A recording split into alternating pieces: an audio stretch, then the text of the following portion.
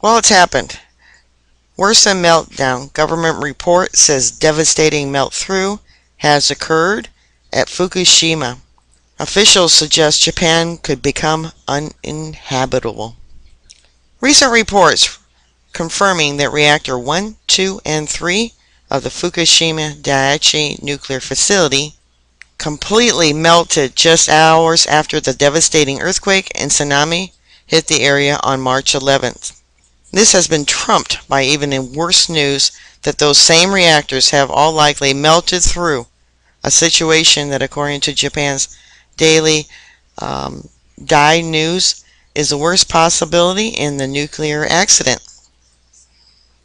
A nuclear core meltdown involves nuclear fuel exceeding its melting point to the point where it damages the core, leaks out, and threatens to potentially release high levels of radiation into the environment.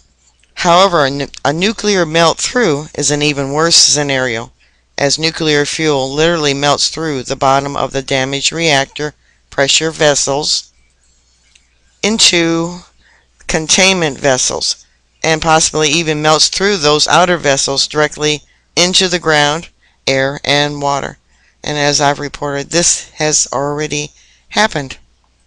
The report suggesting the melt through has already occurred, which is set to be submitted to the International Atomic Energy Agency, is the first official recognition of this dire situation, according to the news report Dai. It also confirms earlier suspicions that such scenarios had been underway all along, as later reports confirm that the epic disaster at the reactor had produced holes in some of the plant's core containment vessels and that radioactive water and possibly even fuel were leaking into the lower vessels. It's in the groundwater, it's in the soil. I've told you that. The IAEA has already stated that the Fukushima disaster is at least as bad as the Chernobyl disaster. There was a report today on television that there is cities far northeast as that little red dot from Fukushima that have hot zones of contamination because of the plume.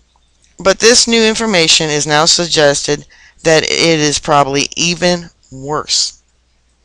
At this time, it is unknown whether the fuel that is accumulated in the outer containment vessel has seeped outside. It has, I tell you, it has.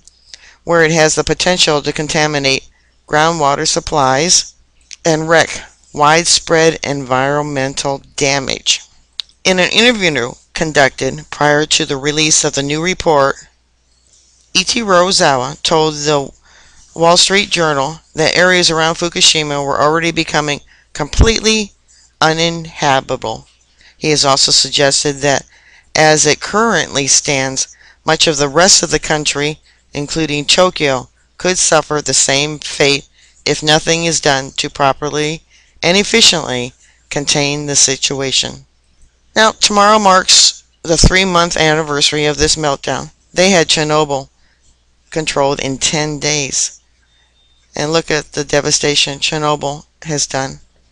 Alright, bookmark our site. I'll keep you up to date. Stay safe. And God bless. Hard to believe that a whole country could be evacuated.